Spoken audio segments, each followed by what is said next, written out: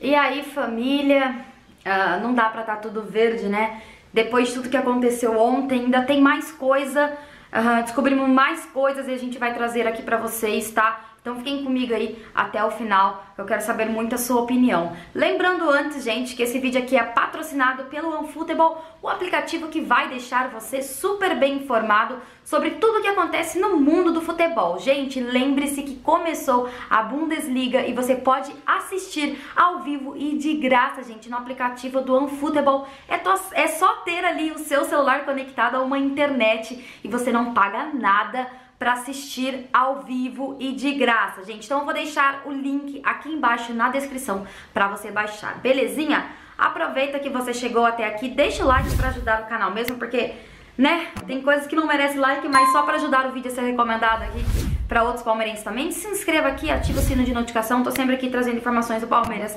para vocês. Vamos lá, que a coisa só piora, gente. Uh, muita coisa polêmica aconteceu no jogo de ontem, né?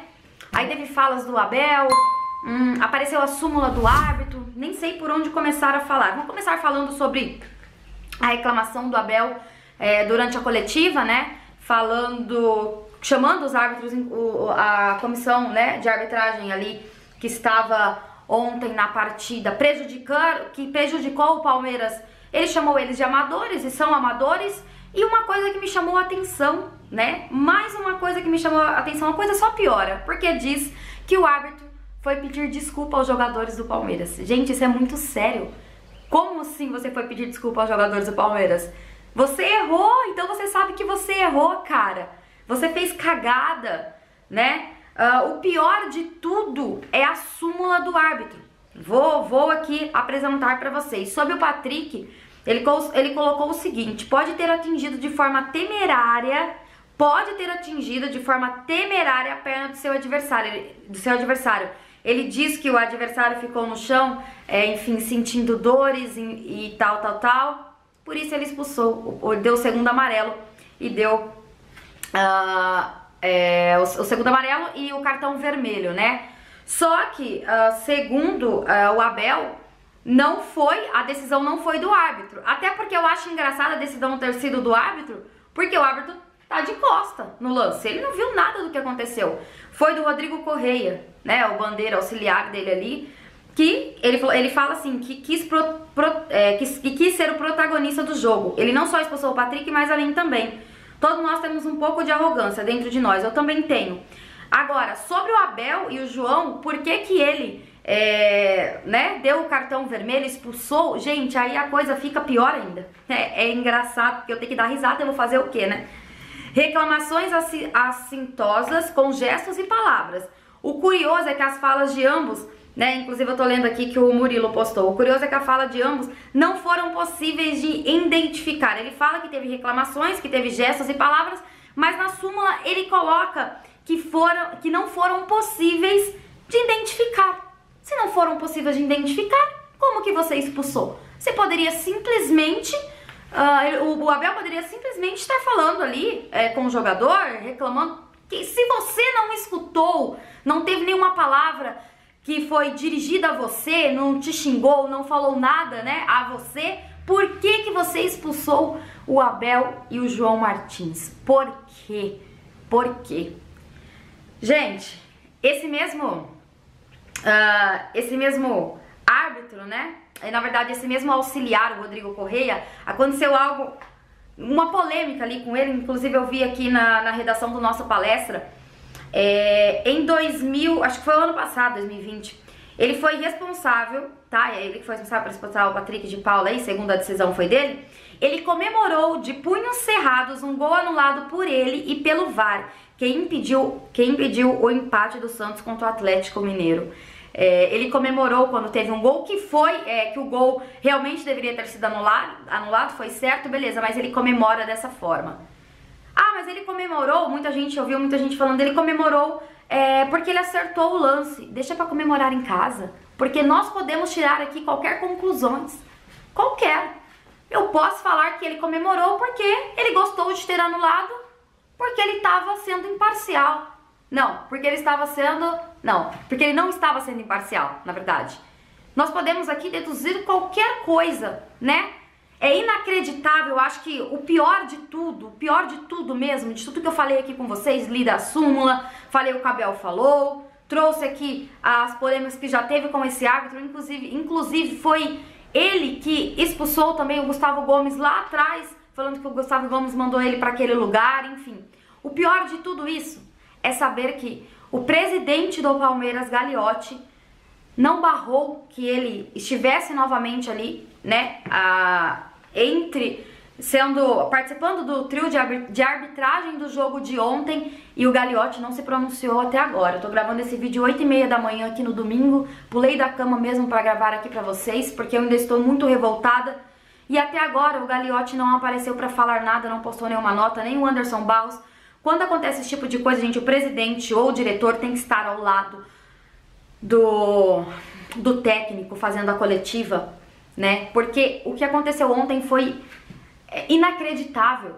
Eu, te, eu vi, inclusive lendo aqui o comentário do pós-jogo, né? Vendo aqui o que vocês, a opinião de vocês sobre a partida, eu vi muita gente é, reclamando, falando que um, o Palmeiras estava mal, de qualquer forma o Palmeiras perdia. Eu entendo a revolta de vocês, por quê? Porque até o Patrick ser expulso, realmente o Palmeiras não estava nos seus melhores momentos. Mas nós temos que colocar várias coisas em considerações aqui. Olha, gente, eu não sou de passar pano, gente. Vocês me conhecem, sabe como eu critico muito, às vezes até exageradamente. Mas assim, quem me diz, e a, foi o que eu levantei ontem aqui é, na, na, no pós-jogo, quem me diz que a qualquer momento o Palmeiras não poderia fazer um gol? Ir ali no contra-ataque, fazer um gol e matar o jogo. E aí fazer mais gols. Gente, ninguém, ninguém aqui vai me provar que isso não poderia acontecer. O juiz prejudicou, ele deixou o Palmeiras com um jogador a menos. Aí vai lá o Abel no intervalo e faz aquelas 500 substituições, chamando o time do Atlético para cima, deixando o Rony sozinho lá na frente, sem ter muito o que fazer, porque a bola não chegou ao Rony. Ah, mais um detalhe. Mais um detalhe no final do jogo. Olha, é. Oh meu Deus do céu, gente. Só o torcedor que sente mesmo. Eu vi jogadores do Palmeiras cumprimentando a arbitragem ali no final. Né, Gustavo Scarpa, dando até piscadinha? Aí como é que eu vou te defender aqui, meu amigo? Meu Deus! Meu Deus! Como que você não sente as coisas que acontecem? Como que vocês, jogadores do Palmeiras, não sentem? Você for, vocês foram cumprimentar o cara que prejudicou o Palmeiras. Essas coisas eu não entendo, gente. Por isso que eu falo. A omissão vem, vem da diretoria até os jogadores do Palmeiras. Ninguém sente porra nenhuma. Eu queria ver se fosse Paulo Nobre à frente do Palmeiras ontem, se ele não tinha tomado o microfone da mão do Abel e falado até umas horas. Se ele não tinha puxado a orelha de jogador que foi cumprimentar o árbitro. Ah, é porque é educação. Educação é meu. Tá? Não tem porra nenhuma de educação, não. Foi inacreditável o que eles fizeram com o Palmeiras ontem. E nada vai me tirar da cabeça que o Palmeiras poderia sim ter vencido, ter, ter vencido a partida. Se eu, for, se eu for fazer alguma crítica ao Palmeiras, eu vou deixar para fazer terça-feira, se caso der alguma merda. Gente, desculpa, eu sempre analiso aqui o jogo. É, às vezes o Palmeiras vencendo. Quantas vezes o Palmeiras saiu na frente no placar, ou o Palmeiras venceu a partida, e mesmo assim eu falei, ó, oh, gente, o Palmeiras venceu, mas precisa mudar isso, aquilo, não fiquei feliz com, com isso, com aquilo. Agora, como que eu vou fazer uma análise de um jogo que foi prejudicado, gente. Nós estamos falando aí é, de 20 minutinhos só.